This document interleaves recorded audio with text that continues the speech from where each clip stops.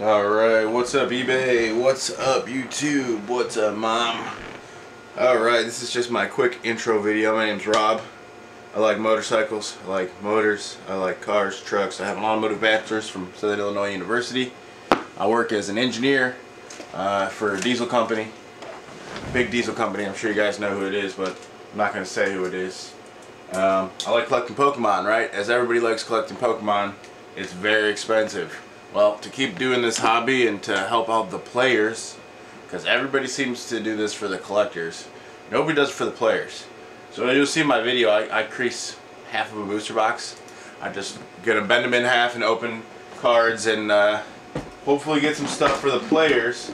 So I do have stuff for out of my personal collection for eBay for non-player or for the collectors but then I'll, I'll have collectors cards and I'll have players cards um, my prices are going to be cheap so people can afford them that can't normally afford them. Um, I'm not trying to make a lot of money on this. This is just so people on eBay can see I'm a real person and uh, I'm just trying to sell some of my cards. I do have a big collection. I'm going to move it around so you can see some of it right now. Here's just a couple of my cards sitting up here. Um, nothing crazy. This is my Mewtwo base set pretty good condition. Dark Charizard Japanese. Uh, that's a Team Rocket. Dark Charizard Japanese. Original base set Zapdos, Ninetales, Gyarados, first edition Machamps.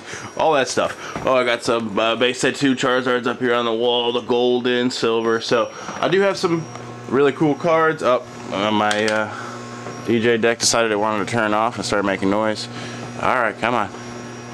But, uh, yeah, that's me. I'm Rob this is my channel and uh, I hope you enjoy the rest of my stuff. I'm still getting set up and I have a broken leg so please excuse uh, low quality videos. Thank you.